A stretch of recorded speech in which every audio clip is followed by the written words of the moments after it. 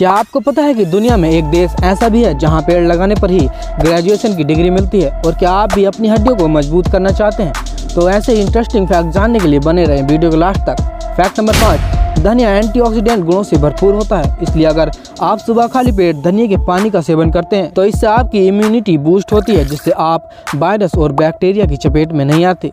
Fact number चार क्या आप जानते हैं कि फिलीपींस एकमात्र ऐसा देश है जहाँ पर 10 पेड़ लगाने पर ही आप ग्रेजुएशन की डिग्री प्राप्त कर सकते हैं? फैक्ट नंबर तीन, रफ आई रॉकफिश नाम की यह मछली करीब 250 सालों तक ज़िंदा रह सकती है। यह मछली प्रशांत महासागर के कैलिफ़ोर्निया से लेकर जापान तक में पाई जाती है। इसकी लंबाई करीब अड़तीस इंच होती है। फैक्ट नंबर दो, सर्दियों के मौसम में हड्डियों में दर्द की समस्या बढ़ जाती है, लेकिन सर्दियों में अगर आप दही को अपने भोजन में शामिल करते हैं तो इससे आपको बहुत फ़ायदा होगा, क्योंकि दही में कैल्शियम की भरपूर मात्रा पाई जाती है, जो हमारी हड्डियों को मजबूती प्रदान करता है। फैक्ट नंबर एक, आपको जानकर हैरानी होगी कि फिनलैंड को झीलों का देश कहा जाता है, क्योंकि यहाँ पर एक लाख सतासी हज़ार आठ सौ अठासी झीलें मौजूद हैं। तो दोस्तों, आपको इनमें से कौन सा फैक्ट अच्छा लगा, हमें कमेंट सेक्शन में ज़रूर बताएँ।